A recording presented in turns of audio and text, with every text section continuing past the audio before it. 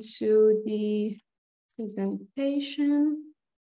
Okay, over the next 20 to 30 minutes, we'll be talking about um, processing crab and lobster, uh, why that matters, uh, the introduce you to the deep chill process. We'll also look into some of the research data that we have, and then we will uh, look at how this chill process will impact your operation, your product, and more importantly, the business bottom line. All right, so um, both crab and lobster, very high value proteins, uh, typically distributed uh, frozen. Uh, there are good reasons for that. Number one, it has very short season um, to catch them and distribute them live, usually just a few weeks or a few months, so not that much time. Uh, it's not year round. It's expensive to ship them and keep them alive. Um, and also there's the dead loss potentials. On the other hand, when we deal with frozen, pro frozen product, it's shelf stable, it's less costly to ship them and also store them at the point of distribution.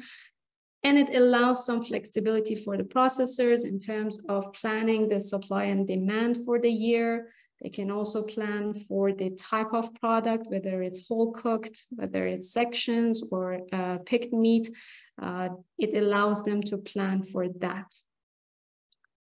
So uh, you might be asking why we picked this topic of drip losses and how you can cut them. Um, what we've noticed, what we learned through years of working with uh, companies uh, who deal with uh, cooked crab and lobsters, is that the drip loss is basically a hidden loss of money. Most people don't even know that they're losing that money. Um, it's something that many companies, they don't measure the drip losses uh, exactly. And uh, that's why we wanted to discuss that today and um, show you probably a better way of dealing with your product that allows you to improve the operation, but at the same time save a lot of money. And that's what we're gonna do today. Um, so I mentioned deep chill a couple of times. So for those of you who don't know what it is and you're asking what is deep chill then, it's a versatile cooling and preservation solution. So Deep Chill is all natural, composed of millions and millions of microscopic crystals, tiny little crystals that are suspended in brine solution. And depending on the percentage of uh, crystals to water in the solution, you're gonna see a different form of deep chill. As you can see in these pictures, we have deep chill 10 to 40, which means there's 10 to 40% crystals in water. And therefore it's a more liquid form. It pumps as easy as water. So it's very easy to work with in operations, but it cools better than ice. And we're gonna see why and how. Um, in the middle, you have deep chill 40 to 70, which means it has between 40 to 70% uh, ice fraction. Uh, that gives it this thick ice cream-like um, form. And on the right side, you see a 100% uh, deep chill, which is just pure crystals, just looking like snow. And just to show you how it actually flows, this is the slurry or uh, more liquid form. This is the C30, what you see in the uh, video. And here you see the paste form, which has, uh, which is a lot thicker than uh, the, um, the first version. And the last one is just like snow. So depending on your type of operation, depending on the application, and depending on the apparatus that you'll be using, we design a uh, we design the right uh, deep chill for you. Um, and here I want to use an analogy how deep chill differentiates from water or chilled water. So when you try drinking a glass of very, very cold water, just super cold water, it's still easy to drink it. Uh, you can still like, get it down. But imagine if you want to do the same thing with a glass of margarita. You immediately get uh, brain freeze, right? So it's it's the same effect. Even though the temperature difference is not that much, just maybe a few uh, degrees colder in margarita, um, it just has all that cooling power, right? So same thing what you see here, this is the heat transfer coefficient uh, for comparing from chilled brine to deep chill 10% and deep chill 25%. And what you see here, the, the heat transfer coefficient, it directly correlates with just to say cooling power or how much faster and um, or how much energy for cooling it can transfer to the product. So if you look deep chill 25%, it's almost five times, uh, it has almost five times higher uh, power to cool the product. So um, over the next 15, 20 minutes or so, Kyle is going to tell you how this deep chill then can be applied in your operation, what's the impact on the process, and how it will um, impact the yield of the product. Okay, you can take it in. Thanks, Mina. And you know, I always just love pausing on this slide for a second uh, just so that people realize that if you're comparing a liter of chilled water in a chiller to a liter of deep chill, deep chill is going to have five, six, seven times more latent power, latent energy in that liter, which is surprise why we cool a heck of a lot faster than water. So in terms of the process, what we're not here to do is completely change the way that you operate your business. Rather, what we do is integrate into your existing operations without reinventing the wheel. So the crab and lobster are cooked, whether that's steam or boiled or continuous or batch, doesn't matter. We can integrate with any of those options. But instead of it going into an ambient tank or a chilled tank, it goes into a chilled tank on steroids, which would be deep chill. So we dramatically uh, lower that temperature from 80 or 90 degrees Celsius down to zero degrees Celsius. And at that point, you're either a processor who is extracting the meat, so you're picking the meat from the sections or whole cooks, or those sections or whole cooks are going to be brine frozen. And the brine freezing is one area where we have a very innovative solution. So brine chillers in every processor that I've ever been into have been an issue in terms of operations. If the salinity starts to drop down to 85% saturation even, the coil begins to freeze up and you begin to run into operational problems, which has an impact on your throughput. Rather than that, we utilize deep chill in that exact same tank rather than use your ammonia coil and we're able to uh, push through multiples of the of the same mass through the same uh, the same tank or the same container. And after which it would just go to packing or distribution or glazed and go into cold storage. So again, we're not changing the process, we're integrating with the process. And again, just in terms of advantages, rapid chilling, we're gonna show you some test results in a few minutes that are really gonna blow your mind in terms of how fast we can cool. And we all know this, the faster you cool is the less weight you lose. All of, or a vast majority of that weight loss is going to happen when it goes from the cooker to the chiller and the time it takes to bring that temperature down. And also, because deep chill is so cold and because those uh, microscopic ice particles act like a battery, when the cooked product hits deep chill, it instantly stops cooking or almost instantly stops cooking just because of the high heat coefficient. And we've done some really good testing or some testing has been done for us by the Marine Institute showing snow crab tests. And we wanted this to be an apples to apples comparison we know how much more energy deep chill has compared to water. So we've seen operators uh, put crushed ice or flake ice into salty water to really try and drive down those temperatures quickly. So in one test, we had 44 pounds of ice and water, so that's 22 pounds of ice with water and salt at a 6.2% salinity, constantly agitated. We didn't just leave it in the water. And we compared that to a 23% deep chill solution. So that's 23% of 50 pounds. So that's only 11 and a half pounds of ice. So right away, we're using about half of the ice as the first test. And in the second formulation, we see that it's 27%, which would be 13 and a half pounds of ice. So in both of our formulations, we're using considerably less ice with uh, agitation and then idling. So we're not agitating it as much. We're using less ice. And Mina, let's see what the results look like. Dramatic. So deep chill is in gray and blue.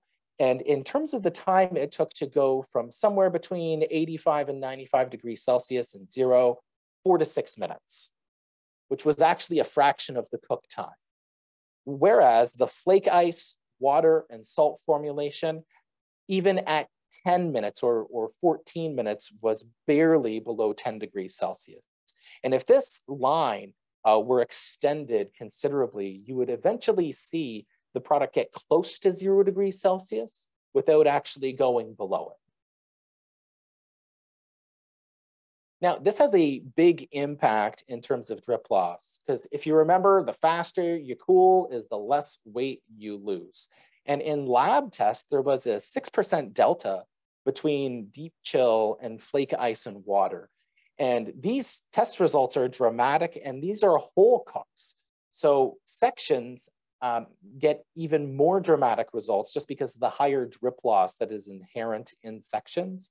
But with whole cooks, we found that uh, companies don't necessarily uh, document the drip loss in the same way. So this, this was really designed to show you how much better a deep chill, chill solution is than chill brine.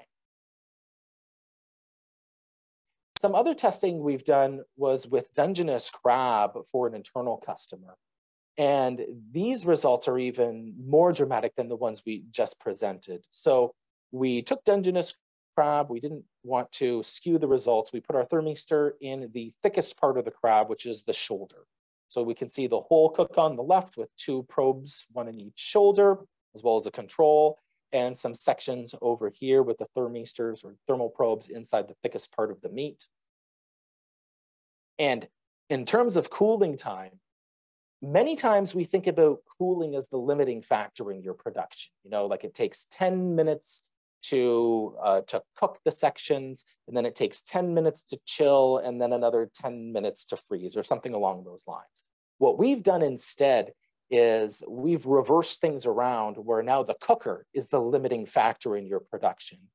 In this test, it took us something like 12 minutes or 10 minutes to heat up from 10 degrees Celsius to 94 degrees Celsius, but only six minutes go from 94 to zero.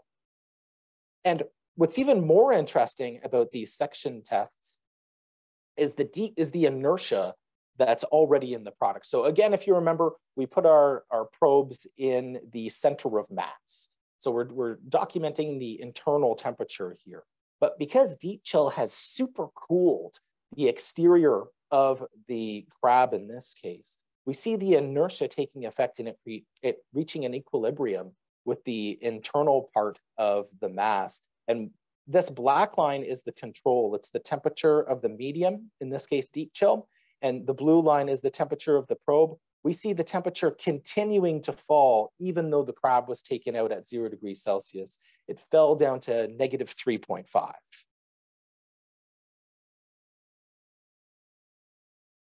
Here's another test we've done with butchered crab. And instead of doing it as a dual tank system where you have a chill tank and then a brine freeze tank, we thought to ourselves, uh, we can really speed up this process by only having one tank in the operation. So it goes from the cooker directly into the brine chiller.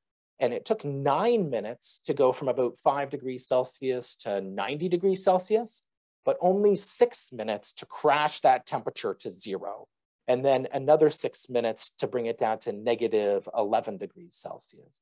So if you were looking for a way of really optimizing your, opt your, your operation, going from two or three tanks down to one uh, is definitely an option that we can support. And again, with cryo deep chill, uh, this is the whole crab. So instead of sections, and you, you know, we're never going to beat the time that we just had in those sections, but the, the full cooks are just as dramatic uh, in terms of reference points. So it took us 19 minutes to heat the crab from four degrees to 84 degrees, so an 80 degree delta, but only 13 minutes to drop even more than that to zero degrees Celsius, and another eight minutes to bring it down to negative seven, which would be frozen right before the glazing and cold storage phase. And what's even, I mean, if you could just go back one, so one big difference between us and RSW systems or us and brine freezers or, or, or chill tanks is you'll notice that when you put mass, like if you have a batch operation where you're putting 300 pound trees into your brine chiller, you notice that the temperature goes up in that brine chiller and then the chiller works like mad to try and drive that temperature down. Whereas deep chill is a little opposite. So we can see as when the deep chill went into the uh, went into the medium, the temperature didn't go up. It maintained and continued going down. It went from negative 16 Celsius down to negative 20 degrees Celsius. So we don't have the same problems or the same challenges as the current brine system. And we like to talk about success stories here and just things or places that we've really made a difference. And for one Canadian lobster processor in New Brunswick, they had a real challenge.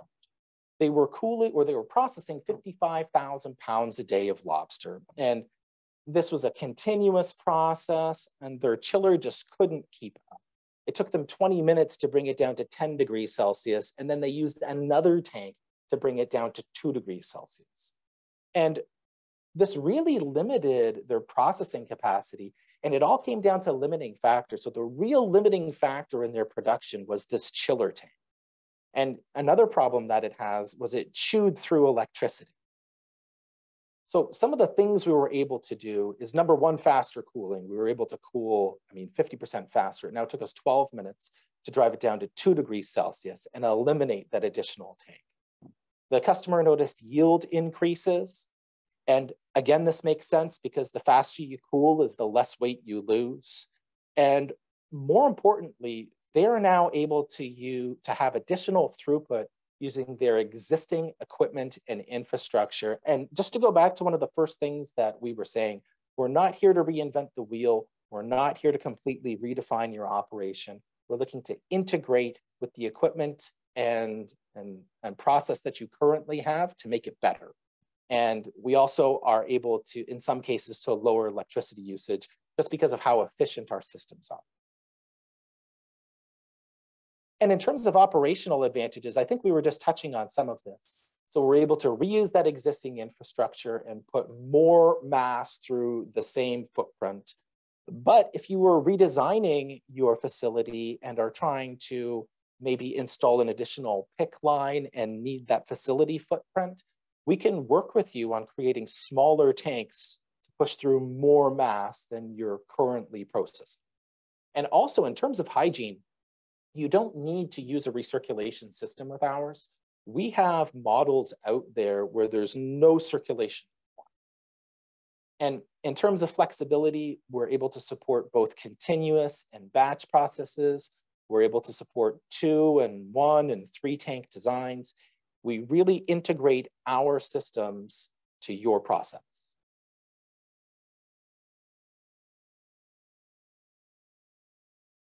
You know, one of the last things that I like to talk about is why you would do this in the first place. There needs to be a return. So what is our impact on the bottom line? And it all comes down to yield. So the higher the yield is the faster the ROI. We could include other things like these nebulous operational savings or electricity usage or water usage or whatever the case may be. But at the end of the day, the main return for you will come from increasing yield. In terms of budget figures, we use 1% yield gain as of, of the meat as our budgetary figure. Again, some lab testing showed uh, five or six times that figure, but we're, we're trying to be as realistic as we can here. And obviously that will depend on your operations. If you're using an ambient tank, that's one of the places where you'll really notice yield gains. But let's pretend that you're a processor doing 2 million pounds per season of lobster. Now, you're not cooking the tails because they're sold raw or sold brine frozen. So really, we're just talking about the claws and the body. And that's uh, just south of 60% of the weight, you know, about 33% for the claw, um, about 25% in the body. So that's 1.16 million pounds. And let's pretend that the value of that cooked product is $20 a pound. And if we are making the promise here of a 1% yield gain, then really we're talking about an additional 11,600 pounds added to uh, your top line, which is a value of $232,000. So for every point that we can win back through yield gains, that's an additional $232,000 that goes directly to the bottom line. There's no additional product cost because we're using the exact same weight you're currently pushing today. All we're doing is helping you uh, realize more gain, more yield from the same weight. And that's where the value of our systems really comes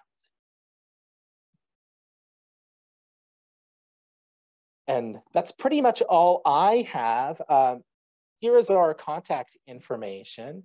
Uh, my name is Kyle Morrison, so that's K Morrison at deepchill.com and uh, Mina Borhani at deepchill.com. So I'm Borhani at deepchill.com. We're always available at this phone number.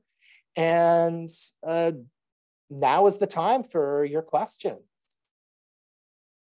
All right. Thank you so much, Kyle. It's always a good sign when you have the same number of participants in the beginning and in the end. So looks like nobody dropped out. That's always a good sign. Um, uh, so again, you can type in your questions here uh, in the Q&A box. Um, please do so, don't be shy. Maybe I can ask a, a question from Mark about the system and because you just sitting here, you have to do something, right? Um, tell us about the uh, salinity use in our system and why you would require uh, salt in the process or how much of it you would need. Yeah, sure. Thanks, Mina. Thanks uh, for inviting me uh, on the panel. Um, so some of the questions that we do get is, you know, must the system use salt? Is salt a required consumable? Um, so th the magic of the system really plays on chemistry between um, a temperature depressant um, solute in a in a solvent. So typically it can be uh, salt and water. It can be many different things. All types of salt do it. Uh, you can even have alcohol. Uh, will will have the same chemistry: ethylene glycol, propylene glycol. Uh, and in fact, the different applications that we have use different fluids uh, depending on, really it is about the temperature that you want. Um, and so the system does require salt to run, uh, mostly because that's how you can encourage the formation of the ice crystals out of the brine, the pure ice crystals uh, with the chemistry that's there. Uh, exactly the concentration of salt that you want actually um, depends on what temperature you want the deep chill at. So for example, just like your brine freezer, if you're looking for a, we calling it a, a, a cryo deep chill, I think cryo is technically minus 70, but uh, this stuff is so cold when you put your, your hand in it, your fingers, your skin freezes up. So we call it cryo. Maybe it's a bit cheeky. Uh, but anyway, if you want to go down to those temperatures, say minus 18, minus 20, uh, you would be pretty close to saturated uh, levels of salt. So you're talking about 20%, 18, 20% uh, salt content. So in 100 kilograms of water, you'd be putting uh, 20 kilograms of salt, right? Um, if you're looking just to chill uh, and not freeze, uh, then we're, we're talking about maybe uh, 3 to 5% salinity. Um, a follow-up question on this also is, is there any salt uptake uh, into the product? Um, and believe, uh, so in the chill tanks, the, the saltiness is actually very similar to what an RSW system would be or what the sea, say seawater would be. And so there's not really additional salt uptake uh, into the product. Um, it, it's it's you know the, the, critters live in the ocean. It's the same type of saltiness that they that they uh, are, uh, they survive in. Um, and then uh, so so there's barely barely much salt uptake um, if we use say a three percent. However, we do have some customers that actually are looking to uh, they're looking for salt uptake in terms of the flavor profile and the quality of the product. And they, their particular markets they sell into um, uh, have a, a, higher salt tolerance or salt aptitude. And in that case, we could even lower the temperature a bit further. In other words, make it a little bit saltier, so 5%, 6%. Um, and then you would actually encourage salt uptake. Um, then what about the, the cryo deep chill? So that's very salty, right? That's about as salty as you can get water. Interestingly enough, what happens there is you would take the product out of uh, the chill tank. Uh, you might, in your process, you might want to do a glazing step. In other words, um, you know, the, the, deep chill, I'm sorry, sorry, the, the, the, product comes out at minus three. You would put it under a, um, a waterfall of water. This would be fresh water uh, to create that glazing. And when you put that back in the, the very cold cryo deep chill tank, it's so cold that that water layer freezes almost instantly. It creates like a really nice glassy cover. Um, and once it's frozen solid, then uh, salt no longer uh, penetrates or migrates into the, the product. So there's actually no, no salt uptake in the, the cryo. All right, thank you. Uh, so something about meat separation, if it changes with deep chill, and if so, how? Maybe Kyle, you can take on that. Yeah, so I've actually spoken to a number of processors about this as well. And the when you cold shock that crab or lobster, uh, what happens is it separates it from the shell. So you're able to pull out much larger pieces of meat. So that's one of the operational savings that we get into because the pickers can pick more meat in the same time. Um, and the chunks of meat themselves or the pieces of meat themselves are larger and more intact. But it's just an interesting thing about the temperature differential. And, and it all comes from crashing that temperature right away and sucking the heat out so quickly. All right. Uh, okay, one last thing is what makes lobster chill faster in deep chill compared to chill water? Kyle, you want to? Yeah, yeah so... let, let, me let me talk to that one, Kyle, because I think sure. I think you yeah we, we already covered it right in the beginning, right? So we spoke about things like heat transfer coefficients and stuff like that. But I have a bunch of people say to me, well, I could just crush ice and mix it in seawater, and then I have deep chill. Do I not? Um, and the question is, you know, why is say a crushed ice or brine system? Why does deep chill cool so much quicker, specifically quicker, right? Um, and it has to do with the fact that uh, the, the thermal transfer is through a phase change, a physical um, uh, operation that is a phase change. So the exact same way when you're when you have sweaty or you get wet and the water evaporates off of your skin and you can feel your skin cooling down way quicker than if you just blew air over it. Really what's happening here is the product is in contact uh, with these microscopic uh, uh, ice particles that are so small that they, they can have excellent coverage over the surface area of what it's cooling. And actually what's happening is those ice crystals are melting. And so they're drawing huge amounts of energy very quickly through this phase change. It's actually a latent heat step rather than a sensible heat step. Um, sorry, I'm, i have to prove that I'm head of engineering, so I've got to throw out these terms. So, so for example, you might stick um, uh, a product in brine, and what's happening there is the brine is heating up while the product is cooling down. When you put it in deep chill, the deep chill isn't in fact heating up. It's all the little ice crystals are melting. So they're busy melting away, which pulls the heat out. Uh, there might be some boundary layer, uh, you know, where, where uh, you don't have uh, any ice crystals there, but part of what we do is make sure that there's good agitation in the in these chilling tanks or freezing tanks. Uh, and, and really that's the reason why it, it happens so much quicker. Um, in terms of energy density, so we talk about thermal storage, um, what happens here is you just like if you want to keep your drink cold, you put in an ice cube. If you want to keep it cold throughout, you know, we're watching the soccer World Cup throughout the whole game, you might put five ice cubes in. So you're basically adding thermal storage in there. So with deep chill, what you can do is you can just make make it thicker. You can add more, uh, generate a thicker fraction. Basically means there's more ice crystals in your uh, in your slurry or in, in your deep chill uh, fluid. Uh, and what that means is is not that it would cool it necessarily quicker, but you can cool more stuff in there, right? You could put um, multiple baskets uh, in your chill tank if you have a thicker fraction. Mm. So just some different ideas around uh, why does it cool quick versus why does it cool so much? Very interesting. I think okay. So. yeah, we all work at DeepChill, so we find it interesting. Anyways. Uh, all right, if there are no other questions, I'll, leave, uh, I'll wait for a few more seconds just in case another question comes in. But um, once again, thank you so much for joining us. Uh, thanks, Kyle. Thanks, Mark.